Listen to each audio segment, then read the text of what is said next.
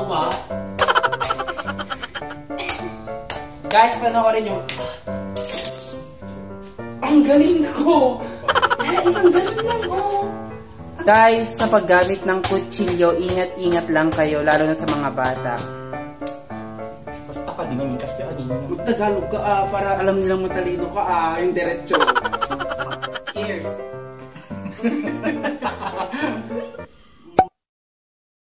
Hi mga kameme! Welcome back sa aking YouTube channel at for today's video, meron na naman tayong panibagong vlog!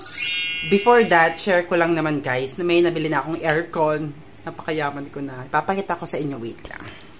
Charan! Eto na yun guys. Ito yung palanggana na may tubig. Nabili ko to sa palengke. Sabi ng tita ko, suggest niya para malamig daw. Kasi alam niyo naman summer ngayon, tapos wala tayong budget sa aircon. Maglagay daw tayo ng tubig dito sa room na nakapalanggana para yung init pupunta daw dito lahat. Hindi ko alam kung tama. Pero so far, malamig naman dito sa room ngayon. Punta tayo sa kitchen kasi meron akong nyog binigay ni John Lewis.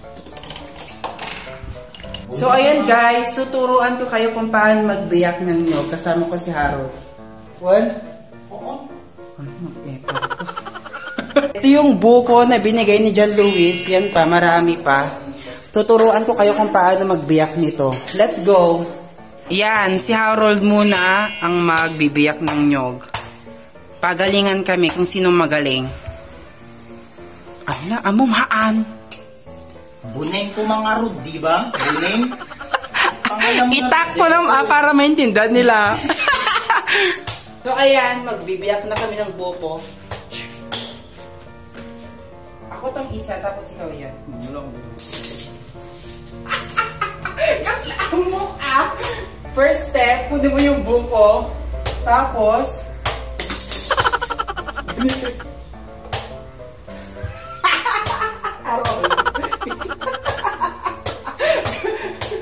totoo.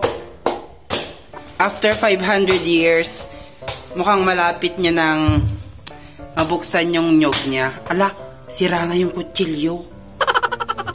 Ayan na! Anakat lang, ti ano eh. Oh my God. buko ng ano din. Kitwon, yung ano niya sa loob, din niya masarap yan. Yung buko niya, malapit niya nang buksan yung akin. Ay, saan ba? Sa puwet dapat? Yung totoo, magtututorial ako. Yan, halos tapos niya na. Ako wala pa. Hindi Hindi ko pa naumpisahan. Pero susunod ako sa kanya. Guys, sa paggamit ng kutsilyo, ingat-ingat lang kayo, lalo na sa mga bata. Ayan, malapit na, malapit na! Ay, matigas, bes! Madinsa! Ano na? Oh my God! Ay! Uy! Kamangalat pag yan ah. Achievement pala to guys, kasi first time ni Harold lumabas sa vlog ko. Yay! Kamangalat pag yan ano na.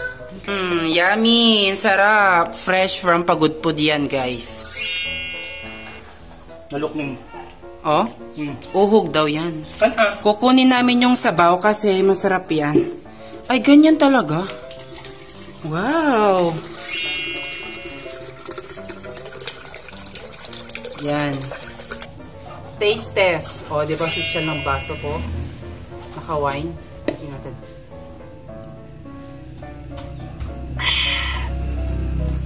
Mm, gusto nagalsum.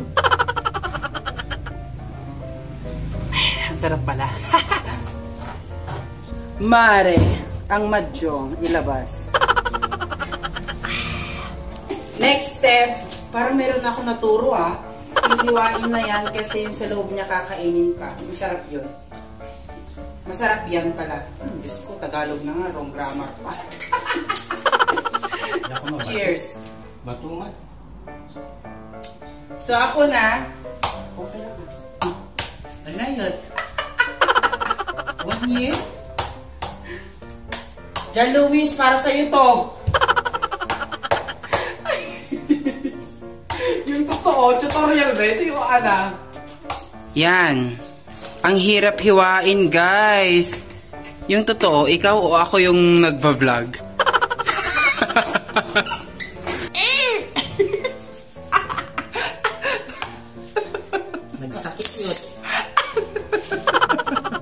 O, di ba? Pawis na pawis ka, te. oh, nyog sa nyog, o, oh, oh, pak, pak, pak, gagawin ng lahat para may makain lang. Alam nyo, iisa pa lang yung nabuksan namin, legit. Kasi yung kutsilyo namin, hindi siya pang... panghiwa lang ng kamatis to. Ako yung nag nagsasarap buhay dito pero yung kasama ko siya yung nagbubukas.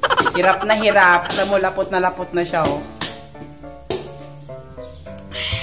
Araw. Cheers.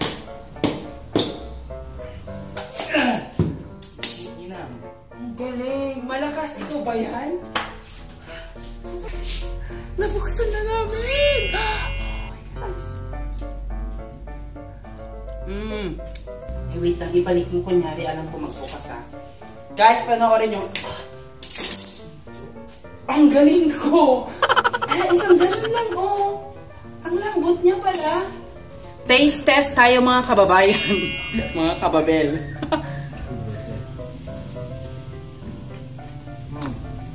Akala ko uho, hindi pala. Ayan o. Halog no kon. Mmm, harap. Para ako nasa Pagudpud Beach. Saod. Hindi matigas. Baka maalis yung pustiso mo. Yung pustiso mo. Ang sarap. Alam niyo, achievement to. First time ni Harold lumabas sa vlog ko. Halog mo? ha? Halog mo? Mm. Pabebe ka ah. Nagpabe... si Harold pala, matagal ko na siyang ka-roommate. O interview. Anong feeling mo na magkaroon tayo ng almost 4 years? Wala. Wala lang. Sino ka ba? Yung totoo, Mga kaibigan, hindi ko po siya kilala. Siya po ay tagalinis namin dito sa North. Basta ka din kasi anina naman. Tagalog ka ah, para alam nilang matalino ka ah, yung diretso. Sige, paano kumain ng buko? Sabihin mo Harold ah, sa mga hindi pa nakaka-subscribe sa akin ah. Ah. Hmm? Mag-subscribe sila ah! Go! Kaya ikaw? Oo. Ngayon na, sabihin mo na ah. Ang saya ng vlog niya, sabihin mo. Sige na ah, plastic ka lang. Subscriber mo ako? Matagal ko na siyang karoon, di pa niya ako sinusubscribe. Visit ka. ASMR.